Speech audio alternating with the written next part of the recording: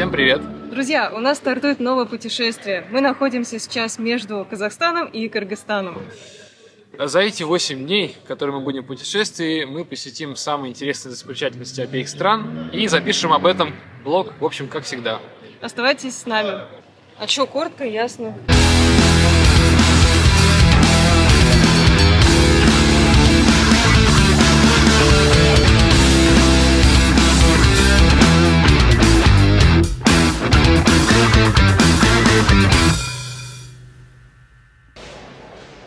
Мы стартовали наш путь из Алматы, поехали на юго-восток Казахстана, там уже поехали на границу с Киргизией, проехались по низу Иссыкуля и выехали уже обратно в Алматы из Бишкека. Пару раз у нас было ощущение, что мы вообще забыли в этой поездке, какого хрена мы здесь вообще находимся, вот, но потом мы уже наши чувства приглушили, и справиться с этим нам помогло наше замечательное чувство юмора. В первый день мы решили прогуляться по Алматы, посмотреть город, а также передохнуть после перелета ночного, потому что прилетели мы рано утром и очень сильно хотелось спать. Завтрак в отеле был неплохим, но довольно скромным, поэтому через пару часов нам уже снова захотелось есть, и э, мы погнали в ресторан Афиша. Находится в центре Алматы. Вот с таким видом. Очень классный ресторан, рекомендуем всем, кто приезжает в Алматы впервые или даже кто там живет, потому что очень нам понравился, во-первых, сервис, во-вторых, э, сами блюда, и в-третьих, это э, антураж, в котором вот выполнен этот, этот ресторан. Так, короче, сейчас мой арифметический мозг это все посчитает. В общем, в среднем блюдо стоит от э, 3900 до 5400 тенге. Делим мы на 5,4, получается, что в среднем цена от 700 до 1500 рублей. Mm. Ну, как в ресторанах Москвы. Как, как в Москве. Прогулявшись по городу, мы заметили, насколько он ухоженный, чистый и вообще довольно спокойный. То есть жизнь в нем не такая бурная, как в Москве или в каком-то другом... Э, Культурном и очень много людей передвигается на электросамокатах, э, большое количество такси. А все потому, что транспорт в этом городе довольно дешевый. Вообще хочу сказать, что здесь супер дешевое такси. И если вам нужно добраться в какую-то часть частей города, просто смело заказывайте Яндекс. И там за 100-150 рублей у вас довозят до любой э, там точки, плюс-минус там радиусе 10 минут езды. Ну, нужно понимать, что электросамокаты тоже удовольствие не совсем дешевое, и где-то за минуту вы заплатите около 10 рублей. Мы не удержались и решили тоже прокатиться на этих самокатах. Я ненавижу самокаты, но сегодня мы решили прокатиться на них. Это будет мой первый опыт катания на электросамокате. Стоимость поездки на электросамокате здесь составляет около 10 рублей в минуту. Ну, то есть 100 э, рублей за 10 минут. Движемся со скоростью 60 минут в час. После обеда, а также обмена денег в обменнике, мы двинулись на координатную дорогу Коктабе, которая ведет в одноименный парк. Он очень популярен среди местных жителей, потому что э, наверху вас ждет большое количество аттракционов, также классный вид, и плюс забраться можно на фуникулере и заодно посмотреть очень прикольные красивые виды. И что еще хорошо, эта канатка работает до 10.45. А, То есть сюда можно даже ночью приезжать. Вот здесь все так подсвечивается и красиво. В отличие от другой канатки, на которую мы изначально хотели поехать, она до 5.30 только работает. Но да, здесь красиво очень закаты. Вообще... Блин, поедем на ней? Сколько стоит? О, это на... Для этих камикадзе? Ну что, вдвоем можно, смотри. Короче, этот парк очень мне напомнил грузинский парк Нацвинда, потому что он тоже находился на горе, там тоже есть э, телебашня. В общем, он просто один в один прям похож. Да-да. Мне пока больше всего здесь понравился этот фаст-костер, который вниз да, катишься. Да, да, да. Ну, блин, там очередь просто нереальная. Это ты будешь до ночи стоять. Мы решили, что мы не будем стоять, лучше погуляем, посмотрим, что тут еще есть. Потому что очередь там какая-то очень жесткая. Тут, э, как Влада сказала, типа есть дом наоборот, Здесь есть э, э, колесо обозрения, здесь есть э, какие-то карусели. В общем, все классические аттракционы, да, которые вы любите и знаете, они тут есть. Вас направо. Это у нас баран Меринос. Смотри, какой маленький сидит. Такие хорошие, я вас погладил.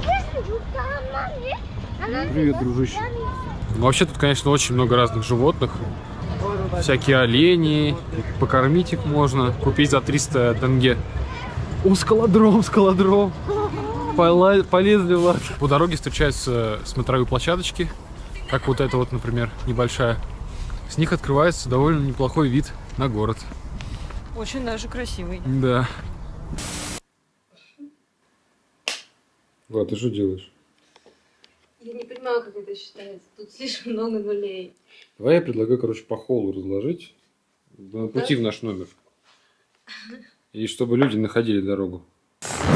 На следующий день рано утром к нам приехал наш первый гид Сергей, и мы отправились в наше незабываемое путешествие. Сергей изначально нам показался очень даже ничего таким человеком, даже расположил к себе, с нами как-то поговорил вначале. Но большую часть поездки он ехал примерно вот с таким лицом.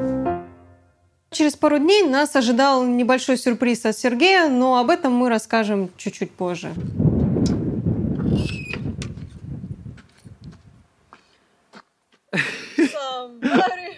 Влад, ты чё? Ты из какого-то другого мира, что ли, вышла?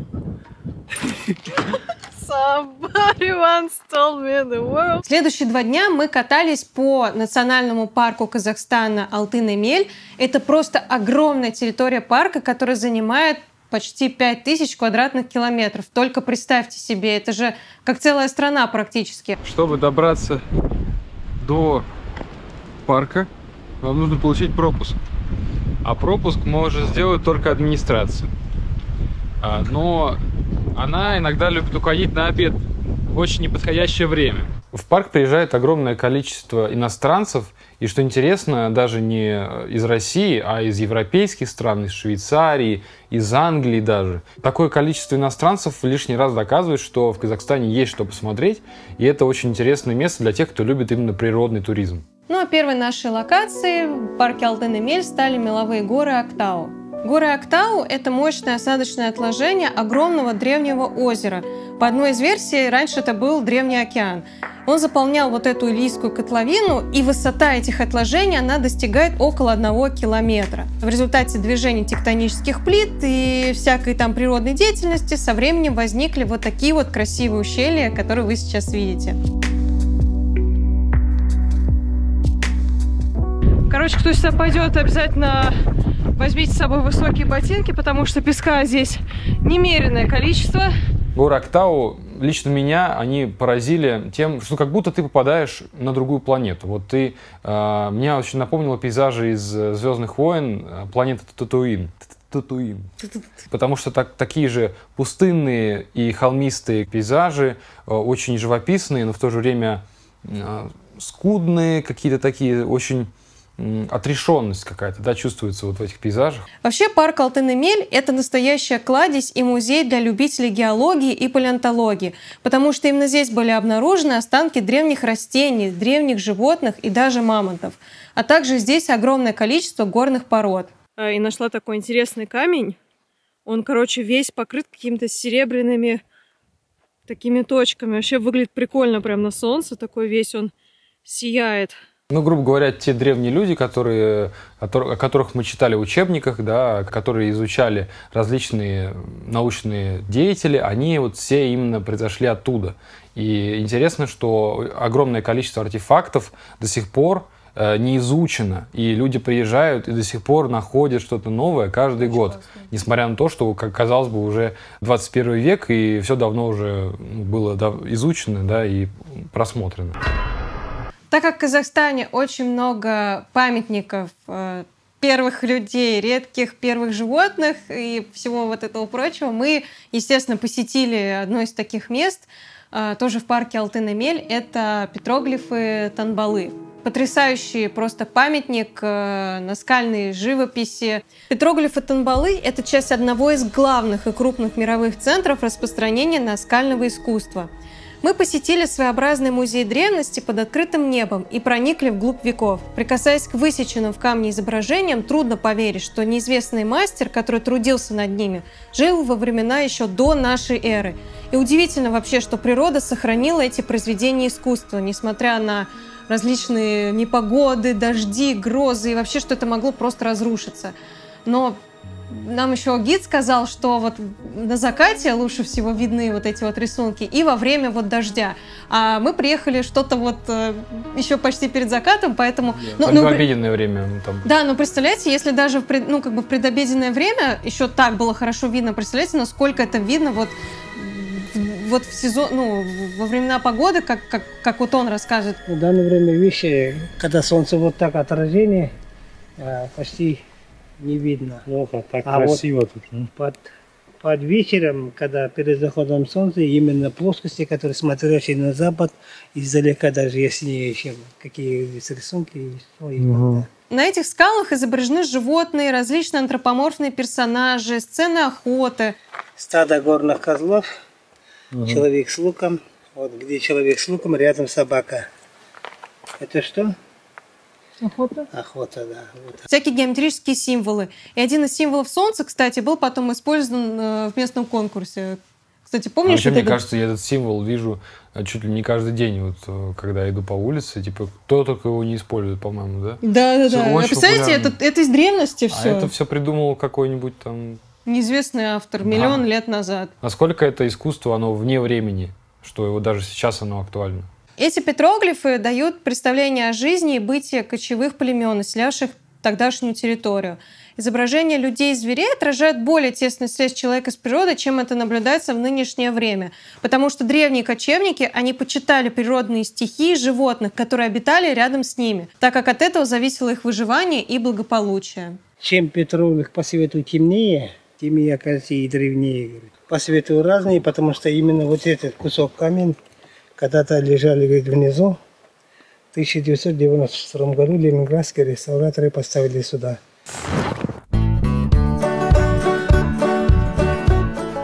До песчаных барханов ехать примерно 40 километров от нашей гостиницы, в которой мы поселились, которая единственная гостиница во всей округе, из которой можно добраться до всех вот этих вот мест э, довольно-таки быстро.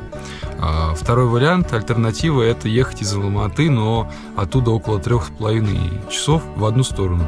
Поэтому только все останавливаются вот в этой гостинице, в которой жили и мы, собственно. Но здесь нужно как бы отметить, что гостиниц там немного, а я бы даже точнее сказал одна. И в этой гостинице несчастной э, такие, ну, как бы такие условия, что их, в общем-то, и нет, грубо говоря. Ну, как бы да, условия как бы есть, но их нет. Посмотрите сами. Товарищи, это полный наша элитнейшая гостиница в нашем элитнейшем поселке. Мы вот взяли, даже все пере, переконструировали тут. Ну, вот, короче, в принципе, не существует понятия кровать king size, э, двуспальная. Поэтому мы решили сделать свой вариант. Просто взяли матрас, перекинули сюда. Да, и все смешно, что здесь они, видимо, не убирались а, как бы с начала постройки еще с этой гостиницы, потому что тут вот эта грязь, просто это ужас. Положил чемодан, он весь белый с другой стороны. Э. Рамка вот эта мне нравится. Нахер она вообще непонятно здесь нужна, зачем она нужна. Какие-то э, за***ные пятна на одеяле. Зато картин красивая. Какие-то просто обои.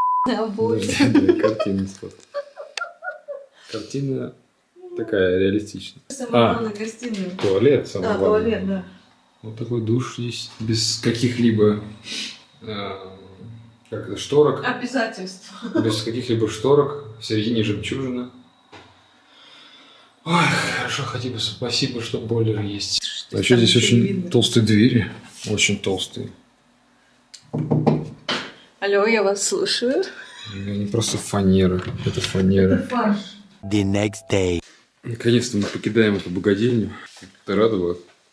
Счастью моему нет предела, что мы покидаем этот бомжатник. И мы собираемся на песчаные барханы. Гостиница на двоечку. На единичку, я бы сказала. Даже вот номера двухместные, там вот нет ну, одной кровати, там все кровати, две кровати, и еще там нет отопления, что самое классное. Поэтому мы спали в куртках и чуть не замерзли и не сдохли вообще. Ты как вот? Готовлюсь к смерти от холода. Медленно замерзаю. Дольше, чем на один день не надо. Ну, чисто, знаете, вот прям по-спартански переночевать. Вот чтобы вот чисто вот я люблю Алтын Эмель, поехать туда вот mm. и просто принять и простить. Отдохнул! Во! при въезде в национальный парк стоит шлагбаум, и обязательно нужно показывать пропуск. А, то есть нужно его сначала купить или заказать там заранее. Еще одна локация в парке Алтын-Эмель – это горные застывшие это горные застывшие вулканические породы. Там есть такой вот как подъезд нет, сейчас давай заново. Подъезда там нет. В общем, место остановки для автомобилей. Вы когда туда приезжаете, там есть такая небольшая гора очень причудливой формы. И она как раз образована в результате вулканической породы, изменения. То, что она засохла, и она вот, представляете, такие вот у нее остались такие круглые, как на Марсе, в общем, пейзаж. Обалденно. Но это только малая часть этих гор, потому что если пройти дальше, можно увидеть э, горы, ну, я не знаю, они по, по объему такие же примерно, как Актау. То есть, если вы видите на, по приезду туда такую маленькую часть, это еще не все, это только малая локация. Нужно пройти дальше, и тогда вы увидите. Ну... Да, там коричневые такие здоровые горы. Они, кстати, больше по объему. Я посмотрела потом на карте, они гораздо больше по объему, чем меловые горы Актау. К сожалению, за неимением как бы информации, наверное, адекватного гида, мы не, не поняли, что нам надо пройти дальше, вот, поэтому мы остановились, посмотрели вот этот вот островочек коричневый и пошли обратно. И самое интересное место в парке Алтын-Эмель, я считаю, это был поющий бархан. Знаете, это очень прикольное чувство, когда ты идешь, э, по, тебя сдувает витрила, и ты себя чувствуешь, знаете, в каком-то фильме просто. Вот я почувствовала себя как в фильме, когда я туда шла, и меня сносил ветер, и я чуть не улетела с этой горы.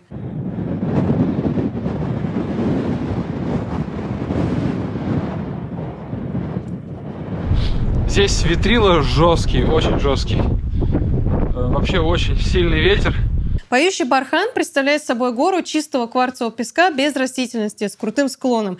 И при движении сухого песка происходит трение песчинок друг об друга, которое производит как раз вот этот протяжный громкий звук. И э, слышно этот громкий звук как раз, когда вы отходите от бархана чуть подальше. Этот звук напомнил мне какой-то гул такого, знаете, реактивного самолета. Вот. Ну, я съел такое количество песка, что, наверное, на всю жизнь наелся. Факт тоже. Ну и, конечно, куда без 700-летней ивы, про которую все рассказывают, она находится в урочище Косбастау, и там, кстати, понтовое место, где останавливаются как раз иностранцы на своих домах на колесах. Какая у нее? Какой диаметр? Мне кажется, метра два точно, наверное. Обалдеть. Ну и вот место само по себе вот это классное, потому что там такой оазис, там такая закрытая площадка, знаете, очень контрастно смотрится по сравнению с окружающими тебя степями. Такой, знаете, маленький вот оазис посреди пустыни. Надо все в жизни уже успеть посмотреть, все, все, все посмотреть, и только потом ехать туда, я считаю. А мы взяли с тобой наоборот. Ну да. Ничего не бы, посмотрели, мы, но уже преисполнились. Мы просто сократили путь, мы решили, типа, а что нам все смотреть? Вот сразу поедем на самое, ну, на самое мощное. Вот самое крутое, что есть вообще на планете, я считаю, это... Парк Алтын-Эмиль. Парк Алтын-Эмиль. Во-первых, потому что, ну реально, это, это же древность. Вы, по сути, не едете в Disney Park, Disney Park, в ну, не в Disney Park, в Universal ну, да. Studios. А вы едете в настоящее, вот посмотреть, прикоснуться к древности, к тому, э, откуда мы все родом, откуда мы пришли. После Барханов мы поехали в Жаркент перекусить. Там, кстати, есть очень аутентичная кафешка. Ну, такой ресторанчик. Да, прям вообще супер. Заходишь, то проходишь как-то вот вовнутрь. Готовят вкусно просто. Вообще просто еда фурор, прям ну убой кормят. Как же я объелся. Посоветуешь ты этот ресторан тем, кто побывал в Жаркенте? Да, абсолютно точно, безусловно. Как ресторан называется? Ресторан называется «Олив» в городе Жаркент. Запомните. Ребята, обед просто царский, я считаю. Манты офигенная. Такое нежное дрожжевое тесто, знаете, как вьетнамские вот эти булки баньбао. Кстати, вчера съели. Курица в горшочке тоже классно. Там овощи намешали, картошку, сыр. Ну, порции огромные, на самом деле. Я даже, если бы ну, знал, я бы, наверное, только одну порцию заказывал. Мы заселились в гостиницу Алма Парк. А, она находится прям как бы внутри нее находится бассейн с горячим источником. И я хочу сказать, что здесь очень даже цивилизованно. Вот номер наш. А, у нас здесь стоит стол гостиный. Есть кондиционер даже. Это что в прошлой гостинице там ничего этого не было, чтобы вы понимали. Диван и кровать большая в другой комнате. А, также у нас есть ванная и сушилка для вещей. Ну, в общем, все удобства, которые, в принципе, должны быть. А также здесь есть Wi-Fi, что немаловажно. А сейчас мы будем переодеваться и пойдем купаться в этот э, горячий источник. Там уже э, пару-тройку гостей купается, я видел. Но сегодня такой ветрило, я не знаю вообще, э, долго ли мы там потянем. Later. Мне кажется, или нас там сдует просто. Неужели реально теплый? Неужели эта штука реально теплая? Теплая, теплая, выходи. Все, выходим. А что никого нет-то, я не понял. Он, Ныряй. Он их показал. Вообще тут очень тепло. Да? Ну-ка, сделал сейчас. И мы были единственными, кто рискнули в такую ветрилу искупаться. Это было просто невероятное чувство, потому что снаружи тебя просто обдувает ветер, а внутри тебе тепло. Это просто мы там, не знаю, часа три, наверное, купались, если не больше.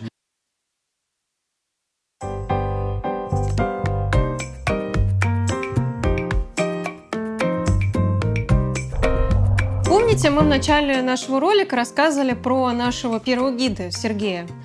И все бы ничего, если бы он не оказался человеком, немножко любящим подбухивать.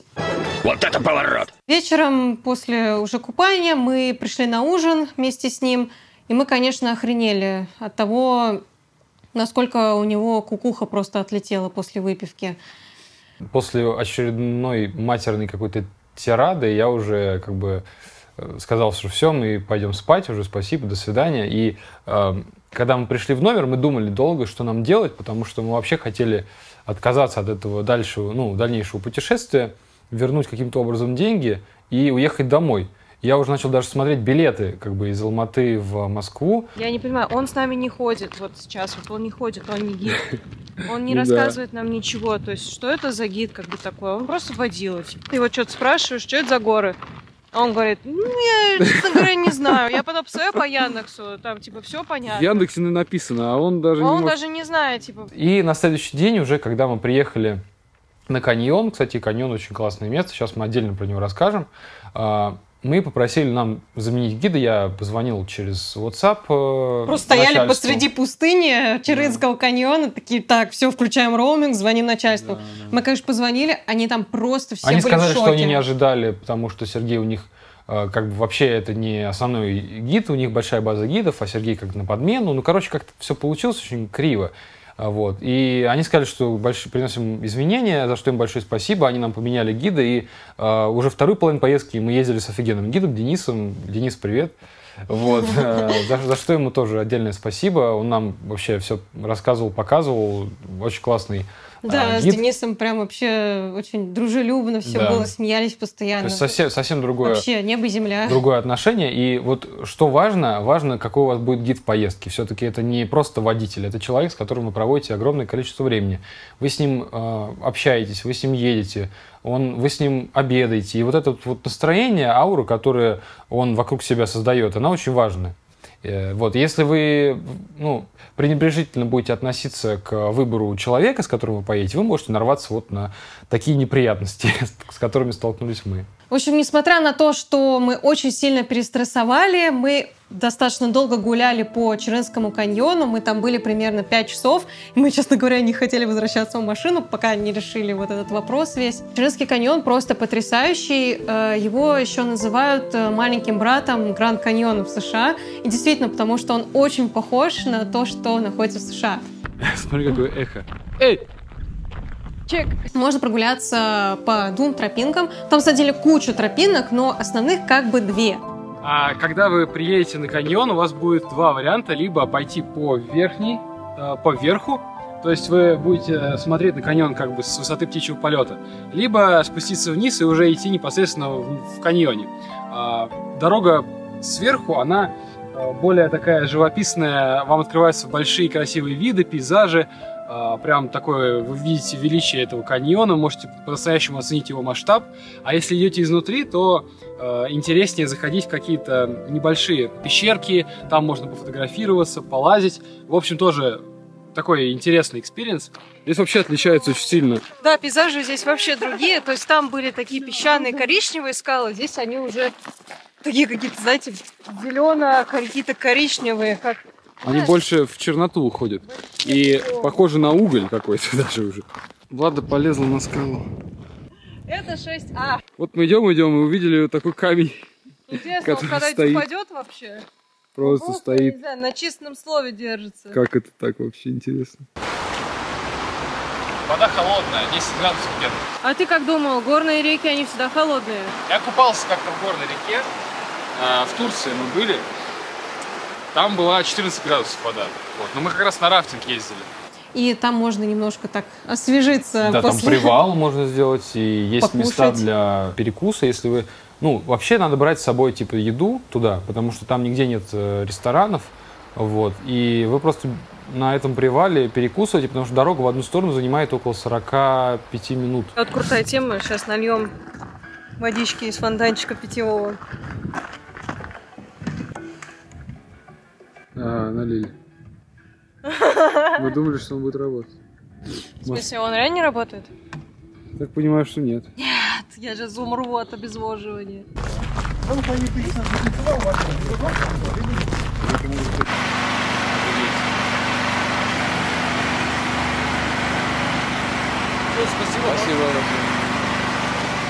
После каньона мы отправились в село Саты.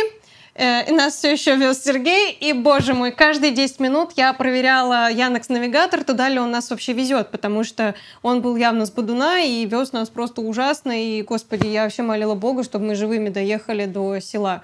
И как в лучших, в лучших российских мемах. Сергей говорит, ну, ребят, ну усаживайтесь я сейчас за сигаретами. И больше, славьте Господи, мы его не видели. Отдохнул! Мы приехали к Шакире в село Саты. Это гостевой дом, у нее в селе находится.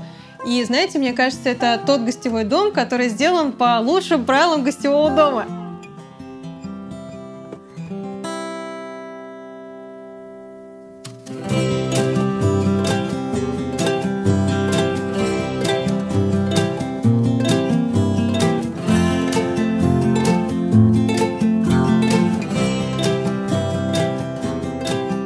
Даже есть такая книжка «Секреты успеха гостевого дома». Здесь она вот в этом доме воплощена, наверное, на 200%, потому что здесь все сделано правильно и очень классно. Многим отелям не хватает вот этой книги, я вот хочу заметить. Особенно первому отелю, который был у нас. Вообще не вспоминаю, это ужас просто.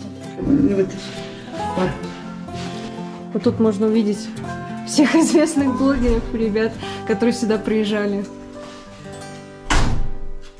Даже сам Юрий был здесь.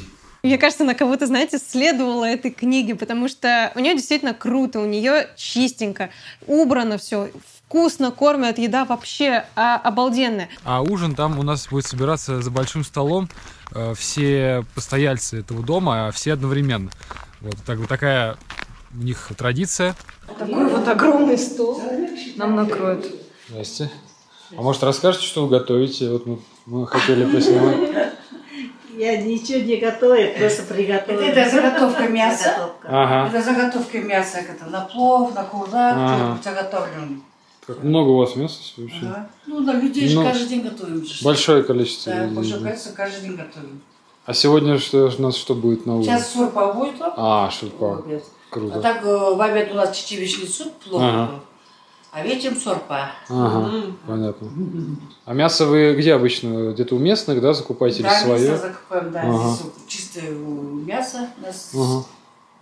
Ну, я видел, там пасутся у вас тут Да, прямо да. в окне. Можно увидеть, что и лошади, и овцы. Стол такой огромный, там столько. Да. Это вот ничего не осталось, это что. Да? Ничего не осталось. Завтра посмотрите. Завтра у нас обед тоже людей. Человек А. 20 где-то будет. А до этого времени мы вот решили пойти прогуляться и посмотреть, какие здесь э, виды красивые.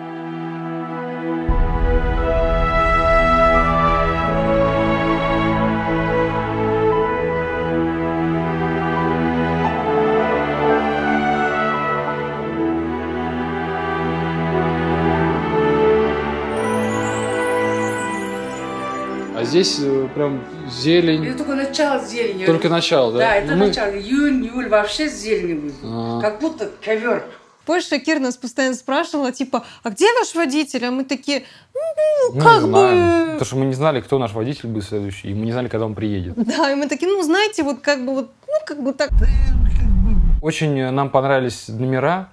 Они маленькие, небольшие такие, но уютные. И что э, самое главное, там включили отопление, потому что в ту ночь было холодно, там температура опускалась чуть ли не до нуля там, градусов ночью. Мгм. Вот, хотя это было почти ну, середина мая. О. Слушай, такой домик со стороны не скажешь, что здесь так все... Так, что тут у нас еще есть? Вот еще одна комната. Знаешь, очень... Ой, здрасте. Короче, для нашей семьи мама, папа, Илья, Илья, Маша. Четко Ну, прям. вот они сейчас, когда увидят, им прям понравится сюда, наверное. Конечно. У нас сегодня новый день с новым гидом в новой машине. И мы сегодня отправляемся в поездки по озерам. В Казахстане и в Киргизстане вообще по этому туру, если вы хотите проехать, вам нужен будет джип. Желательно какой-нибудь э, внедорожник 4 на 4 потому что это ваша безопасность, это залог успешной поездки. То есть хорошая машина, надежная, у вас обязательно должна быть запаска, у вас обязательно должно быть резервное топливо и на случай там, каких-то экстренных э, ситуаций. У нас была машина Toyota Sequoia, на которой нас возил Денис. Просто, не знаю, са- самый большой, да, внедорожник, на котором я когда-либо ездил. Огромное, как реально секвое дерево. Вот посмотрите, сзади два места. Сзади Да она два места, три места спереди, два места еще сзади. И еще мы все сидим, как бы вот так развалившись. потому что у него есть еще сзади еще один ряд, третий ряд, и можно посадить еще двоих человек. И помимо этого еще багажник. Вот. И эта машина у него получается на газу, но параллельно, конечно, еще есть бензин. И не просто у нас Toyota Sequoia была, а на специальной резине утолщенной. То есть эта резина, она еще добавляла как бы амортизации. И сама машина, она очень хорошо амортизировала на кочках и на ямах. И поэтому, когда мы ехали по каким-то таким, ну, по какой-то раздолбанной дороге, где есть большие ямы, мы должны были сюда проезжать очень быстро. То есть Денис говорил, типа, нет, на этой машине нельзя ехать медленно. На этой машине надо ехать вот 50 по таким ямам, потому что когда ты едешь медленно, тебя качает, тебя шатает из стороны в сторону. Поэтому нас Ты- и не тошнило, кстати. да, а когда ты едешь быстро, ехали. ты едешь быстро, ты проезжаешь, просто она сама вот это в себя берет, эта амортизация, и ты проезжаешь как на лодке, короче, проплываешь. Короче, офигенная машина для вот таких путешествий, я считаю, в самый раз. Когда вы представляете себе Казахстан, вы, скорее всего, думаете о пустынях. Да, большая часть Казахстана – это действительно пустыни и степи. Но ближе к границе с Кыргызстаном природа очень резко меняется. Степи превращаются в бескрайние горные леса. Вокруг вас зеленые луга и огромное количество животных. Мы направились на озеро Каинды. По дороге нам открывались просто потрясающие виды. Все зеленое, на верхушках гор лежит снег. У вас есть несколько способов, как добраться до озера Каинды. Первый – это способ, который выбрали мы – идти пешком. Второй способ – добраться туда на лошадях. Но это будет стоить там около 5000 тенге примерно. Вот. А также есть третий способ, самый легкий. Э, Но такой возможности у нас сегодня не было. А Они еще не подъехали. Это УАЗы. На них вообще легко доезжаешь почти до самого озера. И там чуть-чуть пройти уже пешком. Вот, и ты на месте. Но Денис сказал, что на УАЗиках лучше не кататься. Как я сказала, Потому что у них не у всех работают тормоза, на самом деле. Да. Это же опасно. Посмотри налево, Вазик. Посмотри направо, Вазик. Поэтому мы решили пойти э, старым добрым способом, пешком. Что самое интересное в этом озере? Вода прозрачная, голубая. И самое крутое – это елки, которые торчат из озера. Причем они там действительно растут, и они растут, э, сама вот эта вот пушистость елок, она только под водой. А снаружи торчат вот эти голые, голые э, стволы. И это вообще просто обалдеть. Я, я такое, такое чудо природы я в первый раз вижу. Каким образом вообще они так растут? В переводе изобилующее березами. Многие понять не могут. Как связано озеро с березами, если с него торчат ели. На самом деле, когда его обнаружили, это озеро, оно было полнее, и макушки ели не торчали с ним.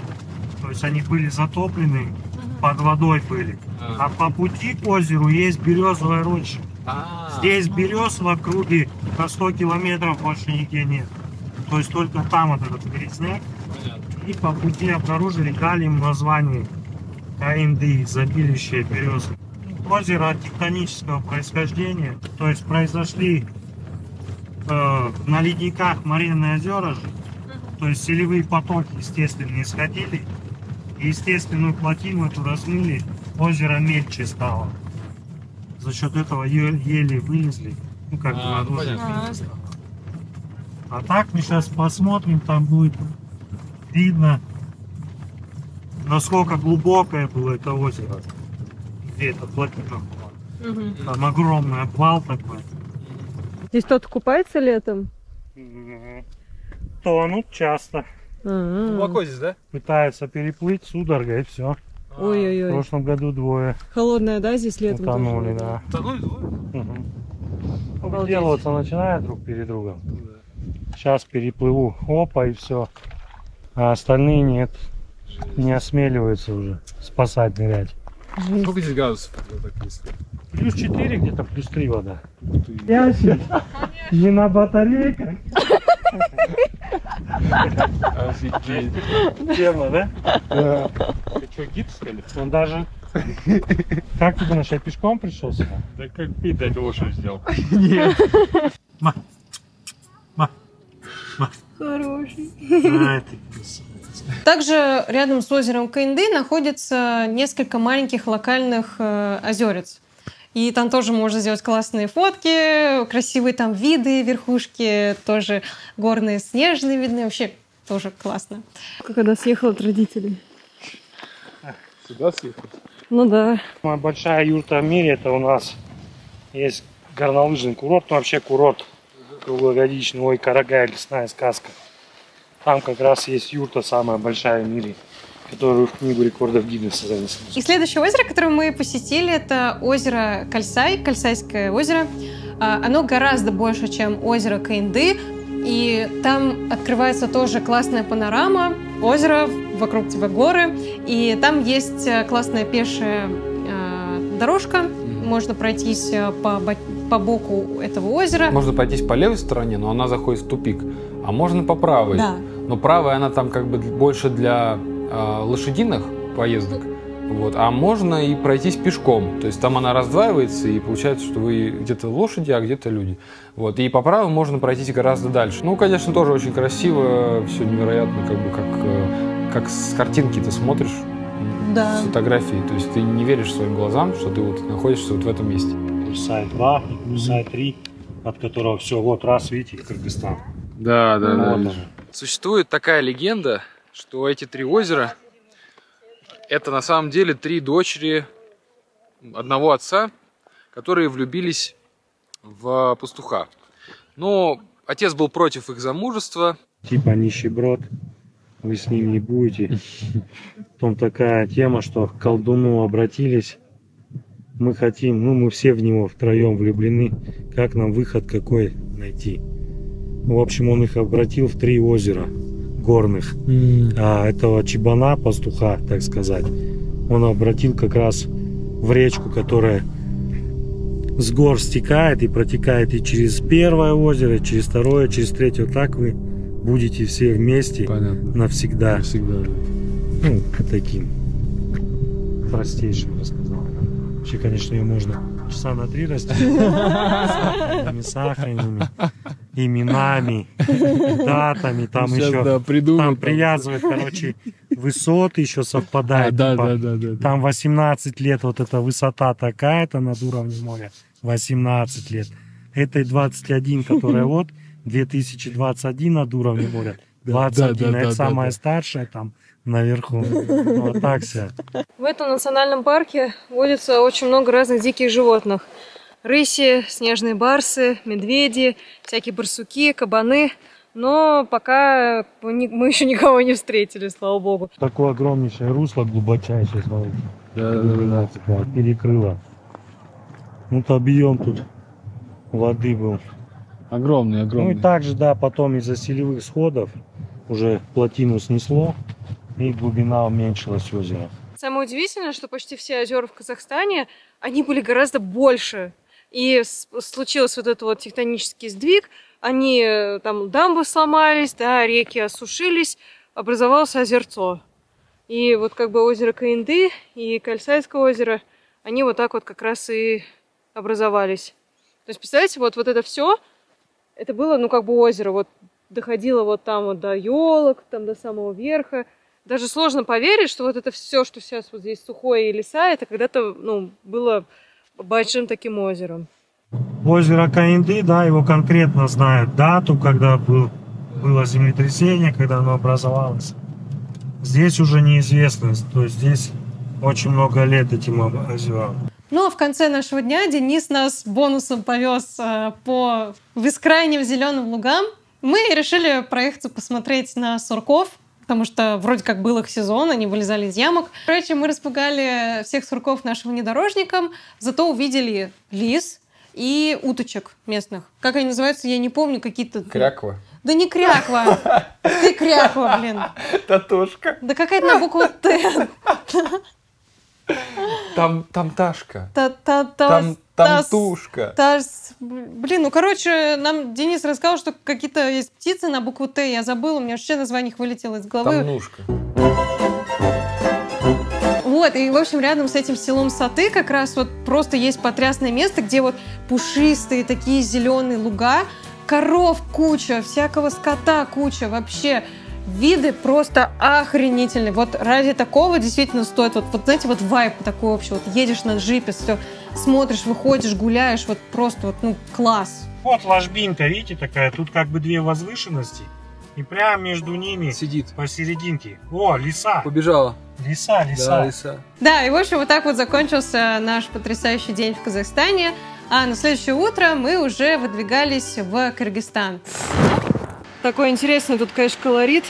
Вот люди на Мерседесах старых проезжают, такие бабули, деды, прям вообще на Ауди каких-то старых. ручек нет. Просто ручек нет, вообще прям колорит такой жесткий. что он один ездит обычно. И это тоже был такой некий experience, потому что мы проходили границу пешком. Короче, прошли мы границу, э, как это было.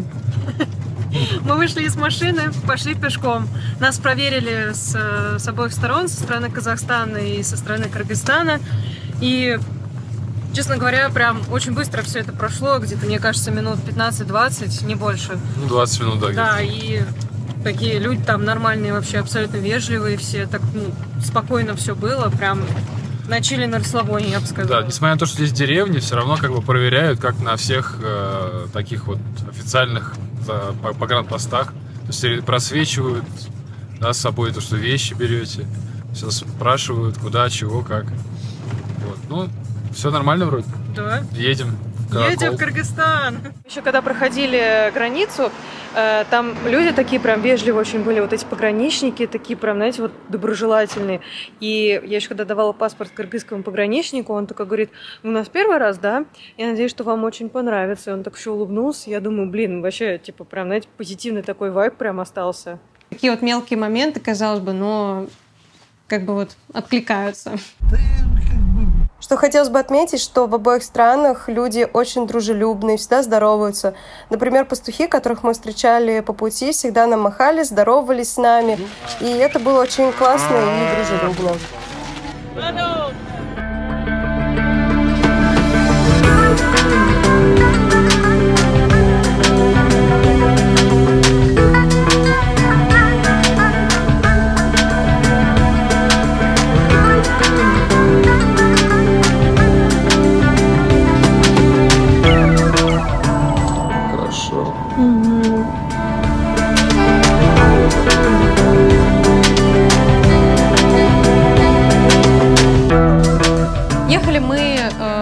Сложности 5 часов вместе с э, прохождением границы. Вот, и мы уже в Киргизии отправились на первую нашу локацию. Это э, Джитагус. В переводе на русский с кыргызского семь буйволов, семь быков. Легенды все те же самые. Разбитые сердца, злые родители. Там тоже легенда похожая, что отец девушки запретил выйти Сандерса Пастухта. Они решили подняться и сброситься с горы. После того, как они сбросились, скала обруш... скалы обрушились и приняли такой силуэт в форме разбитого сердца. А семь быков там есть в форме, ну, скалы в форме быков. Это поминальный был обед родителями дам. И там были зарезаны семь быков, семь буйволов.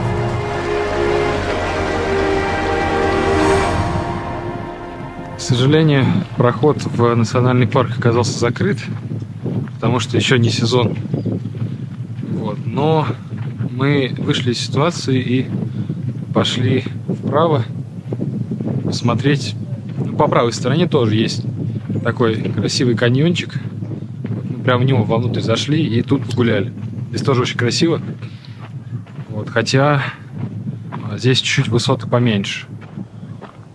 Но поражает больше всего вот этот контраст зеленой листвы и коричневого, а, коричневой вот этой глины, известняка, из чего сделаны эти сам- самые горы. Так, Егор пусть нам объяснит, как это произошло с точки зрения сказочного персонажа. Был сурок, он залез, в общем, в проем. Потом ударила молния. Он очень его сильно наэлектризовало. Он взорвался, и вот такая трещина пошла. Разорви меня, динамит. И самое интересное, что вот эти глиняные отложения, они очень хрупкие. То есть буквально вот э, они крошатся Ну, у то тебя. есть для скалолазания не подойдет. Не подойдет. Очень нужно тоже быть аккуратным, потому что бывают там отвесные скалы, где может сыпаться вот Кстати, эта да. глина. А Поэтому- еще если там по- пойдет ливень, то вас зальет так, что вы там мама не горюй. То есть нужно с, с погодой смотреть очень внимательно. Себя прорывает Мгм. и несется с бешеной скоростью вниз вот этот весь поток грязевой. Мгм. То есть такой селевой сход. Короче, аккуратно Реально. надо быть. Да, и там были такие случаи. То есть люди внизу по руслу идут, вроде ничего не предвещает беды там, а вверху затянуто, то есть тучи, дождь льет. И бывали случаи, но успевали, правда, выбегали оттуда. То есть, если шум услышал какой-то, грохот, то лучше выбежать куда-нибудь как можно выше с этого русла. Мгм. Тогда спасешься. Очень много в Кыргызстане прям построек вот этих вот советских. Все осталось в заброшенном виде. Вот можно наблюдать прям в горах сошел, где-нибудь на каньонах. Все вот это вот осталось, вся эта архитектура. Егор, ты мне можешь объяснить любовь в Кыргызстане вот к этим вот Да, баракам? могу. Потому что это очень удобно. Они закрываются очень герметично, эти все контейнеры.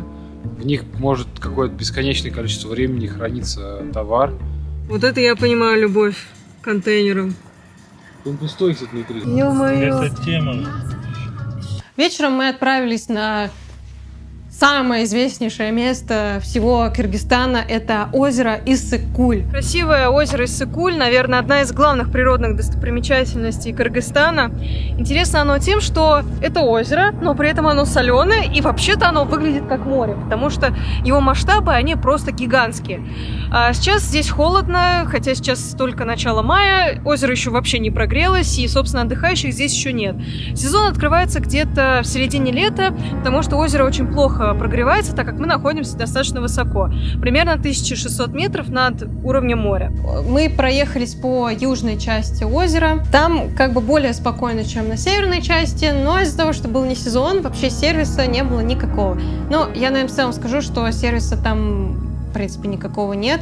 То есть, ну, Ну, в определенных где-то отелях, Ну наверное, да. дорогих там есть сервис, а в большем, с большей своей массе там обычные совершенно такие дома отдыха, в вы приезжаете и, ну, как бы там ничего особо нету, просто как вот санаторий, да, типа, как раньше там в Крым ездили или еще куда, вот такие вот типа места. В целом хочется отметить, что если вы хотите прям вот попасть в какое-то колоритное место, в, ну, в отель, да, или в гостевой дом, или покушать где-то, очень нужно прям вот выбирать и искать. А, в каком-то смысле нам повезло, потому что мы ночевали в отеле, в отеле у Тимура. Мы приехали в этот отель, а этот отель, знаете, музей. А, Да, насколько... музей древних Да. артефактных э, вещей.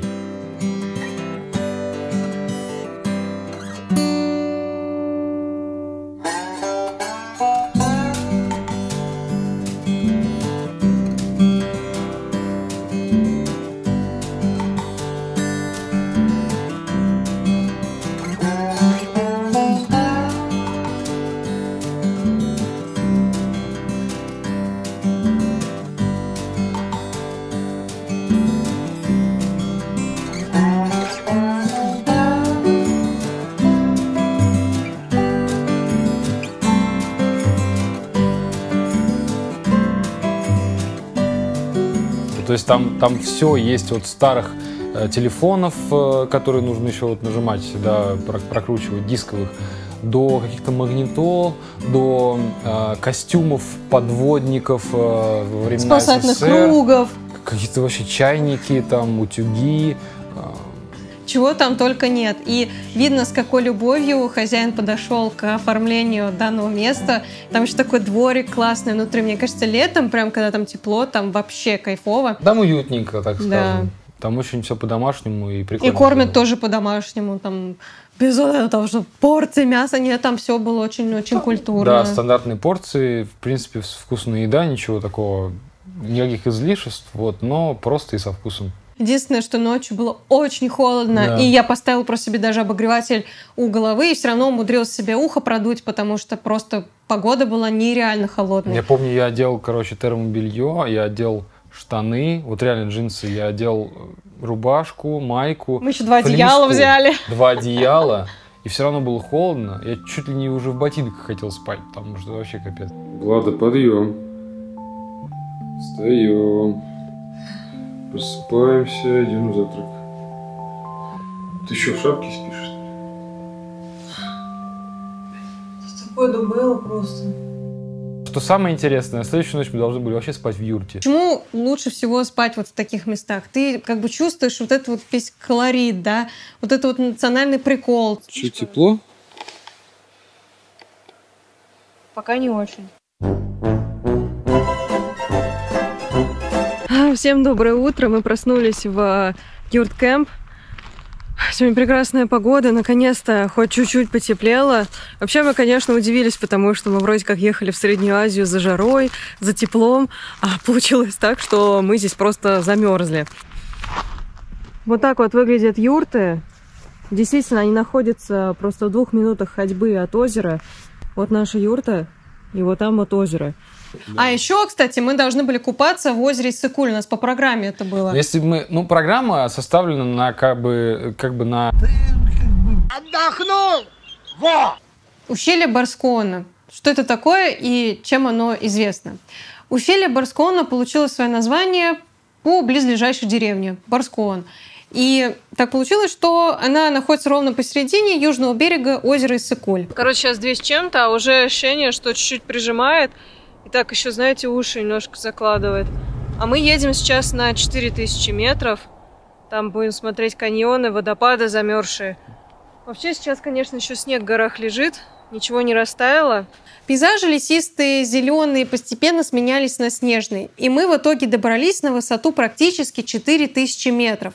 Мы отправились на перевал Арабель. Нам очень повезло с погодой, потому что в этом месте часто сходит лавина и вообще в целом опасно находиться внизу.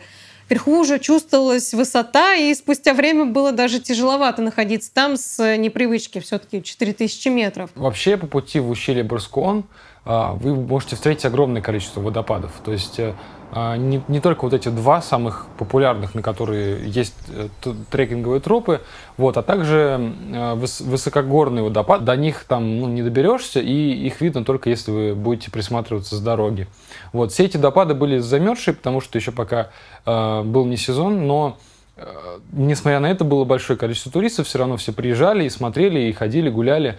Вот. Некоторые даже э, были настолько смелыми, что прыгали по этому льду, но это, конечно, особый вид э, мазохизма, я считаю, потому что вдруг может все обвалиться, и ты просто провалишься вниз в этот водопад и полетишь с этой высоты вниз. Мне очень понравилось сочетание высоких деревьев, э, солнечной погоды, такого легкого прохладного ветерка. Дало такое очень приятное ощущение, которое мне надолго запомнилось. Я не скажу, что плохо было, что мы поехали в мае. Я не скажу, что мы что-то потеряли, потому что мы увидели практически все то, что мы могли бы, ну, как бы увидеть и летом. Потому что, ну, по сути, мы поднялись наверх, да, мы посмотрели все виды, мы остановились где только хотели. Да, здесь нет такого, что ты едешь зря. То есть ты в любом случае, в какой бы сезон года ты не приехал, ты все равно увидишь что-то интересное для себя, и там неважно, в какое время года ты едешь.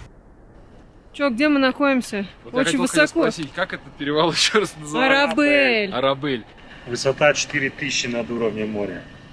Ну там, где знак стоял, там было 3 800 с копейками, а мы еще выше поднялись.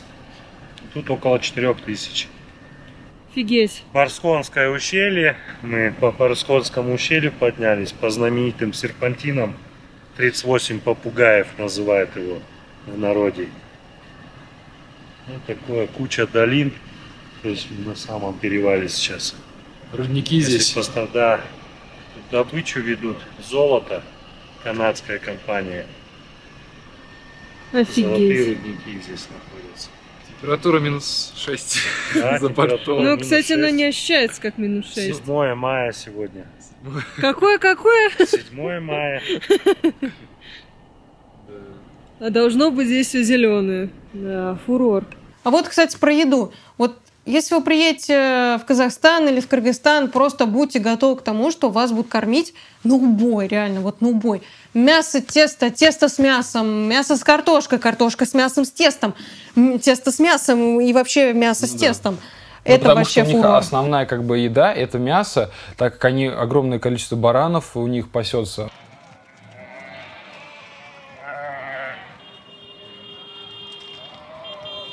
Ты просто каждый, каждый раз, ты, вот, каждый прием пищи у тебя вот, вот такие порции огромные. Вот. Но в целом, да, конечно, чувствуется, что совсем другие продукты. Они более свежие, более насыщенные, более вкусные.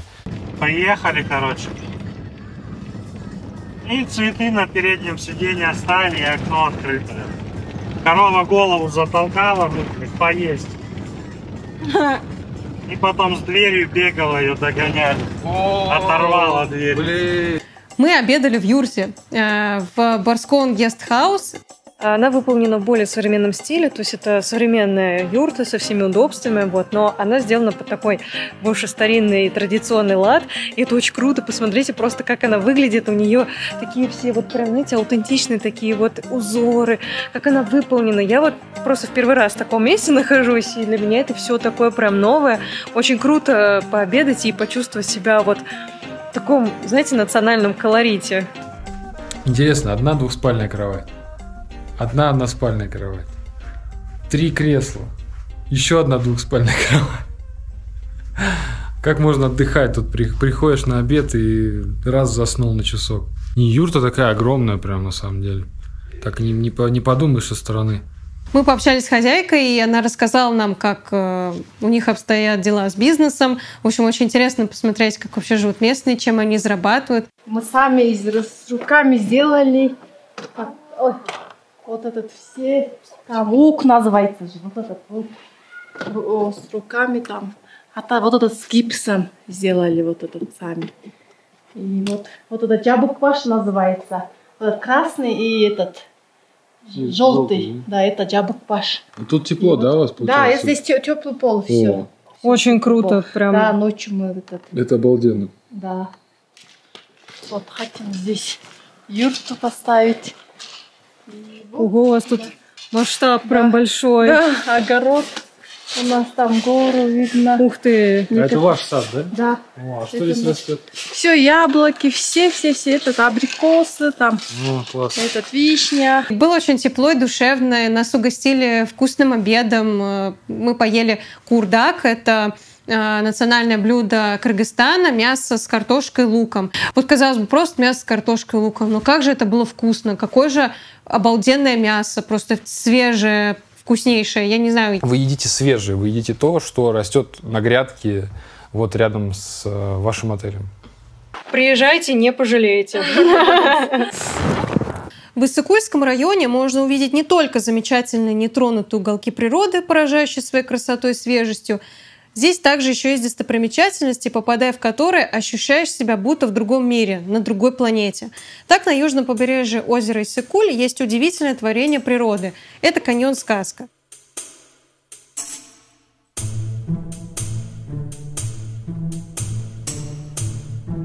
Солнечную погоду это место производит особенное впечатление, так как красный цвет начинает переливаться различными оттенками. Пожалуй, главная достопримечательность каньона – это китайская стена. Она похожа на продолговатый акведук естественного происхождения. Сама по себе порода очень хрупкая, и она ломается под ногами.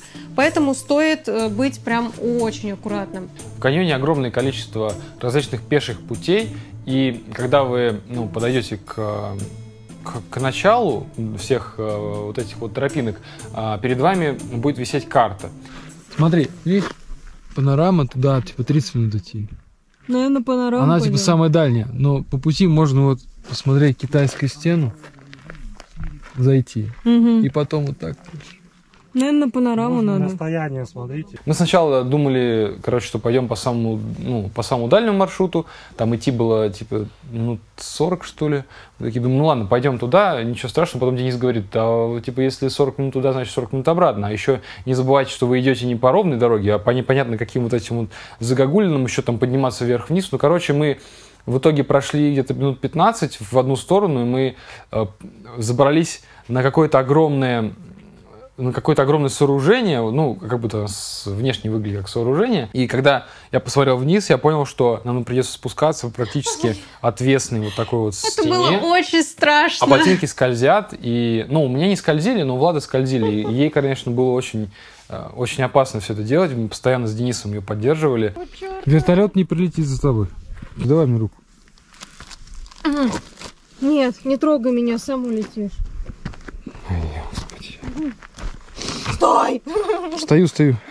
Когда вы приезжаете в каньон Сказку, будьте готовы затратить на это минимум 2-3 часа, потому что Ну да. там действительно есть много что посмотреть, много что пофотографировать. Место классное, действительно напоминает какую-то другую планету, как будто ты на Марсе находишься. Советуем приезжать еще ближе к закату, чтобы было не, не такое палящее солнце сверху, да, вам на голову, а также, чтобы было более, более красиво, чтобы а, тени от- отсвечивали. И, а, ну, в принципе, при закате это место, мне кажется, оно более выигрышно смотрится. Утром проснувшись, мы отправились на еще одну известную достопримечательность. Это башня Бурана. Но перед этим мы заехали перекусить, и мы попробовали местный чай с молоком. Это такая вот очень знаковая вещь у народов Средней Азии. Эм, Вообще, кстати говоря, нам Денис рассказал, что надо обязательно пить всегда горячий чай после того, как э, ешь вот эту вот тяжелую пищу, мясо, там, картошку, потому что горячий чай даже в жару очень хорошо обволакивает твой желудок и помогает очень быстро перевариться всей этой Ну и пищей. плюс он не дает жиру, вот этой, который с жирной пищи, э, за- застыть вот, и образовать, об- образоваться в комки. То есть он м, позволяет э, процессу пищеварения как бы проходить абсолютно нормально и естественно. Вот, поэтому после жирной пищи пьют обычно горячий, вот, если вообще пьют. Башня Бурана – это место, свидетельствующее о древней цивилизации. Это башня – древний минарет. Достопримечательность находится среди руин древнего городища в 10 минутах езды от города Такмак. Сооружение само построено в 9-11 веках. Рядом с башней находится сад камней, который включает балбалы, те самые известные старинные каменные изваяния. За каждым вот таким камнем была гробница, и камни такие ставили только ну, высокопоставленным, на самом деле, каким-то людям, не всем подряд. И по количеству вот этих вот камушков можно судить о размере этого города, который был когда-то. То есть он на самом деле был большой. Находясь на шелковом пути, город развивался и считался одним из самых богатых среднеазиатских населенных пунктов. Кстати, на башню такая узкая а, лестница не просто так. А, ее не делали шире, шире, потому что наверх обычно забирались а, всякие юные мальчишки. Только их отправляли туда. Чаще всего там 5-7 лет, которые могут пролезть, быстренько забраться и а, прокричать своим громким, писклявым голосом о том, что там какая-то беда или что там, не знаю, как, какое-то объявление сделать. В общем, э, лестница просто не было смысла больше делать, только чтобы туда успевали пробегать вот эти мелкие ребятишки. Ты бы что, кстати, им кричала? Все на обед!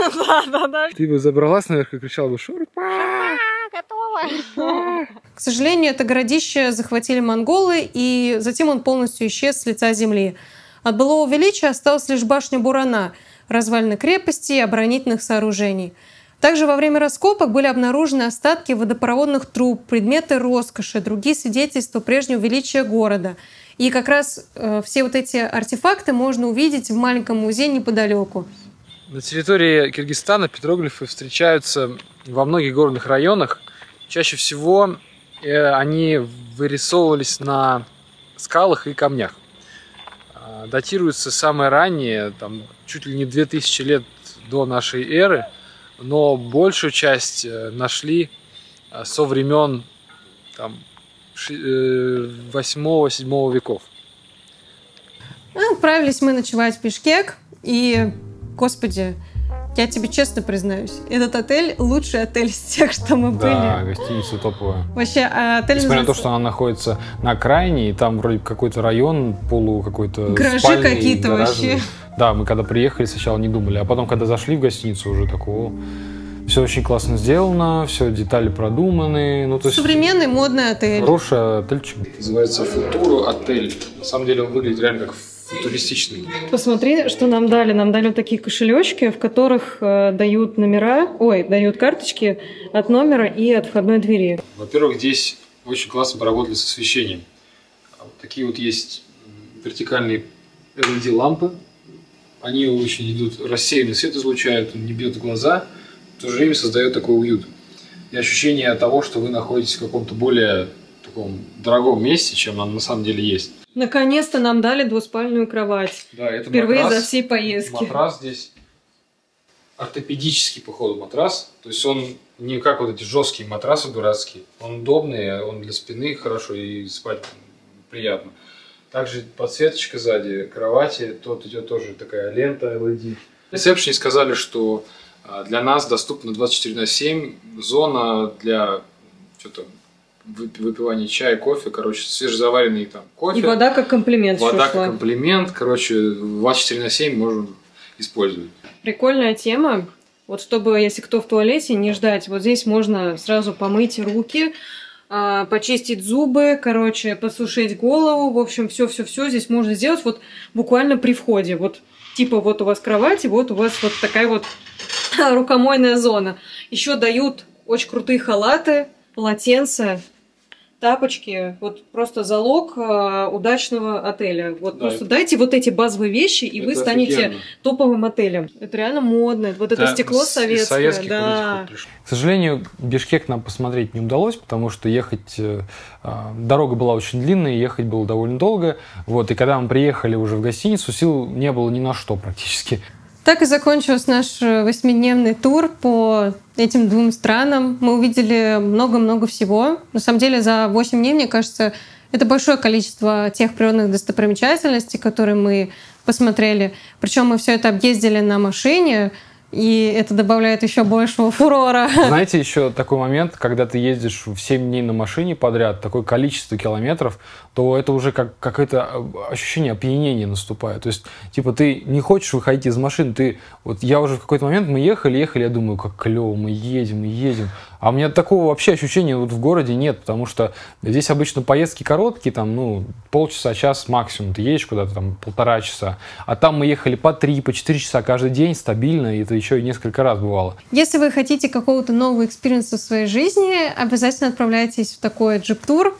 А, И очень интересно, когда вы совмещаете в себе сразу две страны, потому что вы можете посмотреть э, две культуры, две народности, разные достопримечательности, и это здорово на самом деле. Но я бы советовал отправиться в это путешествие тем, кто был уже везде, где хотел побывать. Потому что все-таки это не luxury отдых, это не fabric, это не вот details, понимаете? Это такие более-менее спартанские условия. Перед вами древность, которую вы должны познать, вы должны ее прочувствовать. И это не принять. так, не так легко, как кажется на первый взгляд. То есть э, это, этим нужно заболеть чуть-чуть. Вот если вы этим заболеете, вы, конечно, получите удовольствие. Ну а с вами были Влада и Егор. Как всегда, оставайтесь на связи. Если вы были в Казахстане или Кыргызстане, пишите, что вам понравилось. Может быть, э, что-то, о чем мы не рассказали. Ну и вообще, в целом, пишите ваши комментарии, эмоции от э, просмотренного видео. Спасибо за просмотр. Всем пока. Пока!